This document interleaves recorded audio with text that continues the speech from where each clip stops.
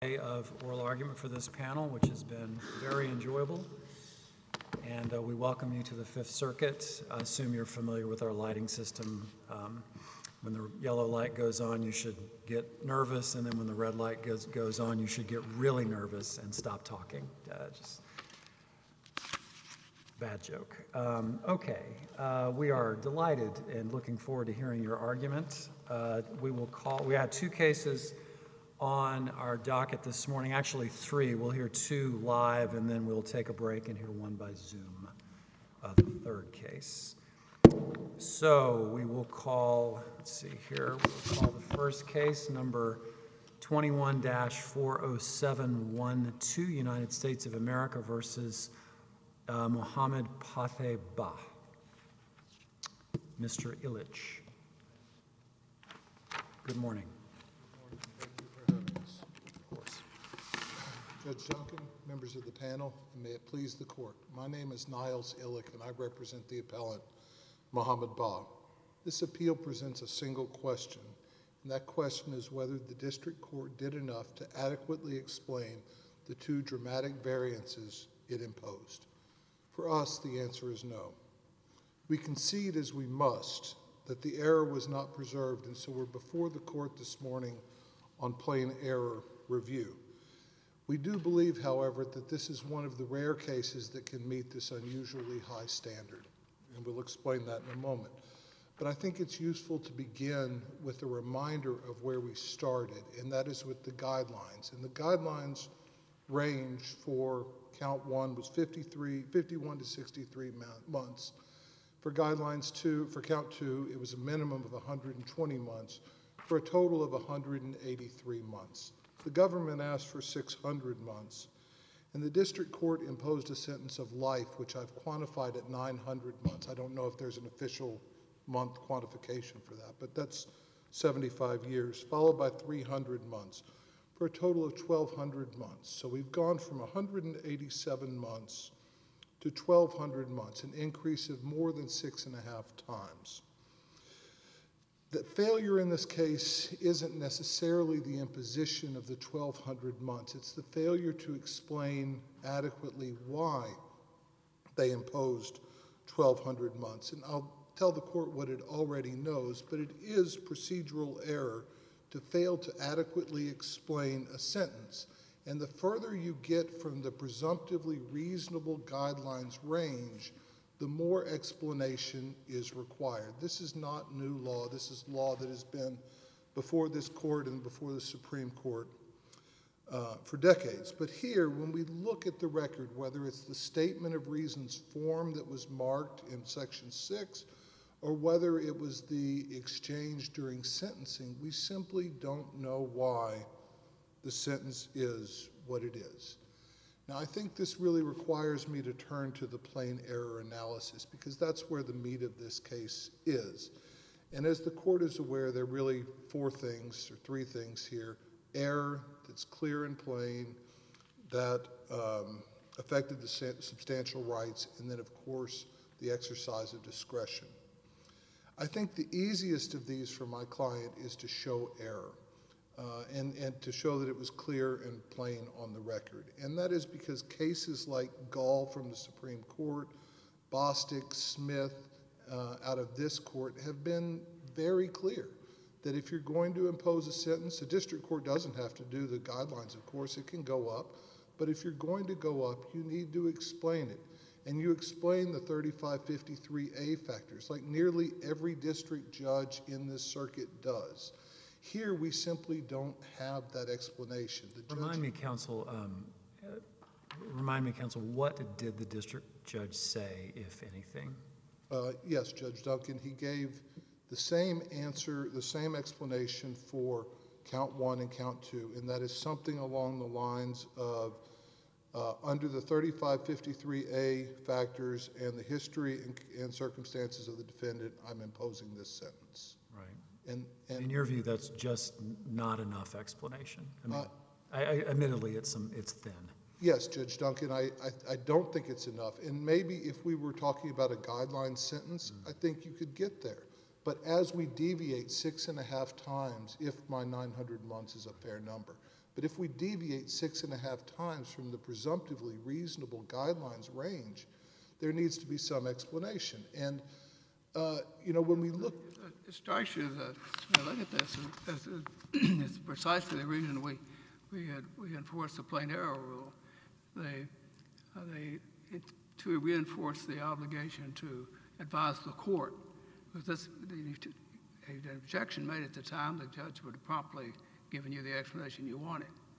Uh, So why, I, I have trouble escaping the, the plain error, uh, Judge Higginbotham, I understand that, and it's hard for me. If I, I and I'm just in a moment of candor here, that's usually not a good idea.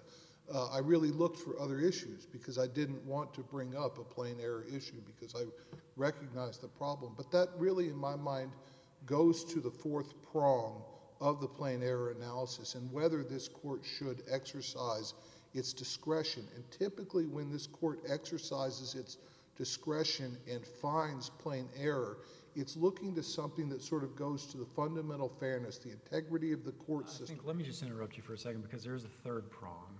Yes, Judge Let's assume it's error, let's assume it's plain.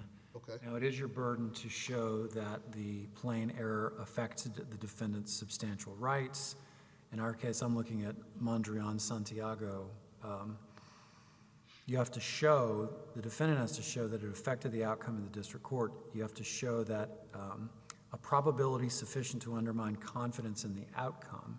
Now, how do you do that in a case like? and Judge Higginbotham, if I may come back to your point when I, when I address the fourth prong. they're closely related. Yeah, I- I was trying to just, I wasn't trying to preempt Judge Higginbotham, I just think that's all, I just want to make sure I get everybody addressed. And certainly, Judge Duncan, I think prong three is the hardest prong for us because, you know, I would, it's an alluring argument, it's a seductive argument for me to say that, look, anybody who would look to this long mental health history, I think would find it mitigating. But I cannot point to a place in the record that shows that kind of error. So in some of the cases we've had, errors where they marked a guideline sentence and then they imposed an above guideline sentence. There you could do it. Here, I cannot go to a place in the record and show you that. And I that's mean, I appreciate it, it's, a- it's, uh, you're right, I mean, I- look, I was an appellate attorney, it's hard to make a plain error argument, and I appreciate the candor. Uh, This is an unusual case, the, uh, the variance or departure, whichever one it is, is, is dramatic. Um, a- And yet, it it is clear, is it not, or maybe it's not, the district court was aware of the mental health issues, right? Judge Duncan, I will say that we know so little that I think we should say the district court should have been aware. I don't think we can say with absolute certainty that the district court was aware. It's in the PSR, right? It's in the PSR, and the court, of course, says it read the PSR. It did say that. Yes, yes, in the, in the form of reasons, it says that. But if I can go on just a little bit on prong three, and I'm not sure that I elaborated on this as well as I could have, but when I cited to the Cron case, Chon case, uh, what I'm explaining to the court there is this idea that the affecting of substantial rights and 3553 uh, A, section, I think it's C, really goes to the ability to do an effective appellate review of the sentence. And part of the showing of um, the effect of, on appellate substantial rights is that without some explanation, we don't really know how this sentence came. So we look at his, let's look at his uh, criminal history, okay? He's got assault on a police officer that he got 1.4, and then he's got like failure to drive with a driver's a speeding ticket or something, a, a, seatbelt on. Let's say the judge imposed a 900-month sentence because he had a he had a ticket for driving without a seatbelt on. I would come to this court and say that's substantively unreasonable. The judge, district court may believe that shows irresponsibility, and that. Um, and that irresponsible people need longer sentences, but we don't give 900 month sentences as enhancements usually for failing to wear a seatbelt. So the court really is prevented from doing an effective appellate review of this sentence by failing to explain, by the district court's failure to explain why it varied so highly. And I mean, that, I guess the elephant in the room is the shooting the bank teller in the head, right? Of course, Judge Duncan. And, and I have not shied away, and I don't shy away from that fact. And I'm not saying that my client is innocent. I'm not saying that he doesn't deserve to go to prison. Uh, I think we start with the idea that the sentencing guidelines are presumptively reasonable, which put it at what 183 months, which is, I think, almost 16 years. Now, is 16 years an appropriate sentence for somebody who gets shoots somebody else in the head? And there's no argument that the guidelines were improperly calculated, correct? Correct, Judge Engelhardt. No one has made that argument. Okay, my, my question is, other than an improper, or I should say an erroneous, a plainly erroneous guideline calculation, are there any cases that we should look at, uh, either controlling or persuasive, uh, that relate to sentencing, plainly erroneous sentencings that were vacated or reversed on appeal? I think Phillips would be one, Chon would be one. Uh, Bostic was not one. It was not a plain error. It was reversed, but I think it is, I mean, it was preserved. But I think it is a good explanation of the law, and I've included it here, but with full disclosure that it was preserved and we're not here. But I guess I would turn the court to Phillips and to uh, Chon. But if I could turn to Judge Higginbotham's point uh, about how hard it is to overcome plain error and the necessity and the need to encourage attorneys to make these objections contemporaneously, I think it goes to sort of the public perception of the credibility of the court. And when we see a sentence that is this dramatic, when we see a sentence that is 1,200 months, that's a sentence that the public deserves to have an explanation for. And whether the attorney messed up or whether the attorney, he certainly did, uh, and I can do this on a writ. My writ is written right here. Um, but it goes to the credibility of the court. The court should say why it's imposing 1,200 months. If it's because a man was shot in the head and another person had a panic attack, a near heart attack, and, and the court believes that's an appropriate sentence, fine, say so. But if, it, if it's because he had a speeding ticket or if it's because he drove without insurance, that's a different matter. This goes to the credibility of the court, and that's been conventionally where this court has exercised its discretion.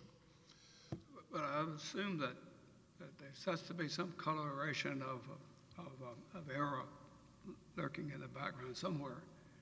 Uh, Otherwise, we're just left from the fact that this, the sentence is, perfectly proper within the range of the discretion of the district court. And um, then on the plain error doctrine, um, it'd be difficult to, say that it, affected the outcome, et cetera. So we're left with your rationale, which I appreciate, that uh, there is a there is an obligation that that is not met inherent in the imposed by these rules of the public declaration, sort of an openness rule, as, you argued. But I don't find that the latter point, although I take it, it it's, it's, it's sound in reality uh, in the cases, but perhaps there is one. That right, particular rationale uh, as being distinct in and of itself. Well, and I, I'm not sure that it is, except for the fact of the magnitude of the distinction. And we looked at cases like Smith uh, that we cited in our brief that really talk about this imperative to explain a big variance up or downwards. It's not just upwards, but up or downwards. When you're going away from that, you need it to be explained. Why does it need to be explained? It needs to be explained not only for the defendant, but for the attorneys and for the public, so that so that there isn't a largely focus upon the the, the, the, the uh, information uh, given to the defendant. Uh, I assume that, the, uh, uh, the, that we earlier in the, proceedings, the, district judge had explained that he was the, he was adopting the, findings of the recommendations of the other other probation. probation office report. in other words, he made some interrogation to to counsel as to whether or not you've consulted with your client and reviewed da da da. Yes, Judge Higginbotham, they went through the usual things, and then you, know the admonishments, and then you have argument from the government, argument from counsel, and then two little sentences saying, um, explaining why. And so we believe this is one of the rare instances that meets the plain error standard. We appreciate the opportunity to speak with the court this morning. If there are no further questions, we ask the court to reverse this and remand for a new sentencing. Thank you, Thank counsel. You have time for rebuttal. Let's see, sorry. Uh, Ms. Alaniz. Good good morning, and may it please the court. Amy Alaniz for the United States.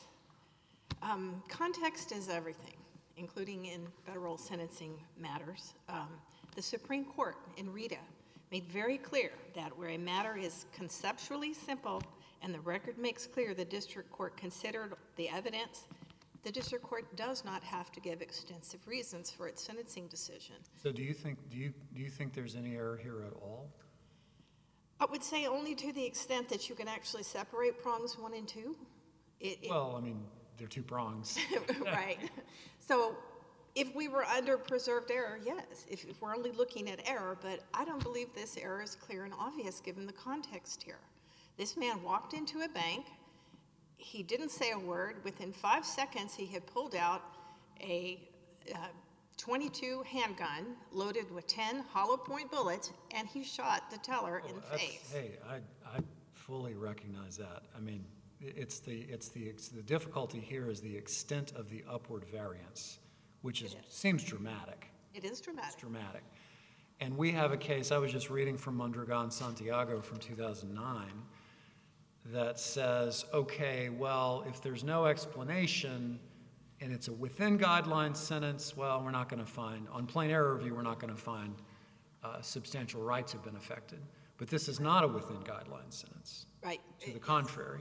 Mondragon uh, Santiago was still within the guidelines, so it's a little different here. But it's not just the egregious facts of the case, there are a lot of other things going on. And um, you asked defense counsel what the uh, district court actually said. For both counts, he says, count one, I am doing enough upper variance. And he repeats this twice. For count one and count two, he says, pursuant to 3553A1, the nature and circumstances of the offense and the history and characteristics of the defendant, I am going to upwardly depart. And I think one thing that's really important about this case is there wasn't any serious mitigation evidence offered. Bah himself refused to allocute. He, he did not say a word, he didn't apologize, he didn't try to, you know, make excuses for himself. His defense lawyer did as well as he could, but basically he tries to float the idea that, well, my client is mentally ill. Well, that was pretty neatly um, debunked by the competency exam, in which the psychiatrist examined him and found no schizophrenia, no mental illness, and no mental deficiency. And then the other thing that was offered was, well, he had nine other hollow point bullets in the gun, but he didn't hurt anyone else. I mean, that's kind of weak when you're when you look at what happened here. Uh, and so, what is there to what would there be to explain in the case? Here, this judge, who who is a seasoned uh, district judge, he looked at this guy and he knew the whole history uh, of this case, and he just thought that even even the prosecution's uh, recommended sentence simply wasn't enough. Uh, this is not a case. He didn't get into that, right? Did, the- did the judge explain why he thought the, the, uh, I know the prosecution was asking for an upward variance, Yes. and you're saying the judge obviously didn't think that was enough because it went beyond that. Did he address that? He did not didn't address specifically address it, but the, um, the prosecutor, he filed a written notice of intent to seek upward departure or variance. That was done even before the PSR was complete. Mm-hmm. And then at sentencing, he uh, gave a very eloquent explanation, and he went into a lot of detail about why an upward variance uh, was appropriate. Yeah, no, I've, got- I mean, we've got it right here. This bank robbery was a serious and vicious event, and the upward variance is necessary to protect this community that, from the individual. Yes. And I know we're all so inured to hearing terrible things in the news about violence and, you know, terrible incidents, but, you know, in federal court, uh, it doesn't happen that often that someone walks into a bank and just shoots somebody in the head. I mean, this is really an extraordinary case. Uh, So I think that is a huge factor, too. What's your best case, um, best precedent you can point to that the explanation here was sufficient to the extent you're arguing? Well, I think it's Judge Higginbotham's opinion in Fraga. Uh, That's a good one, and also Key. um, uh, In Fraga, again, it was, you know, he, it relies on Rita, that language in Rita, that when it's really clear, and, I mean, nobody disputes the evidence, again, there really wasn't any serious mitigation uh, that was presented, so it was just, it wasn't clear and obvious error. And also the case Key, um, where they talk about the district court in the statement of reasons can incorporate the government's motion, and that happened here too. And if I could just talk for, That's, that seems important to me. Can You say key, the, the district, we, we could read the district court as incorporating, what, what did you say? um, in the statement of reasons, um, he, he, the district court uh, specified, you know, this upward departure was made on the motion of the government, and that occurred, the, government made that argument twice, and it's notice of intent and also at sentencing. Made a very uh, full explanation of why that was necessary. Um, was also a case called Key, um, yeah, I'm sorry, that is Key, where they talk about uh, the statement of reasons. And there are a couple other minor cases, Segura, Osorio, Abundis. um, And also, on the, on the third prong, um, actually a case that he relies on, I think it's actually really good for the government in this case, uh, the Chon case. Why do you think Chon is good for you? Um, well, it's a, it comes down to the, to the third prong in that case. And so, uh, again, the, the court, instead of looking at it as a first or second prong case, it looks at that statement of reasons again and say, look, you know, this is good enough. You can't show that your rights were substantially harmed because uh, the statement of reasons incorporates the government's argument, and they're all in the record. So I think those are our best cases. Okay.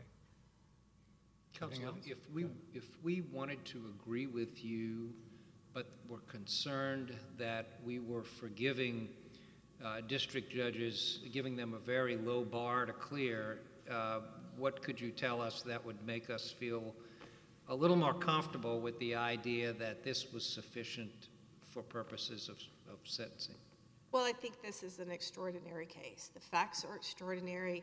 The defendant was extraordinary. He, he didn't even allocute. Uh, He, you know, the mitigation, there's really no serious mitigation here.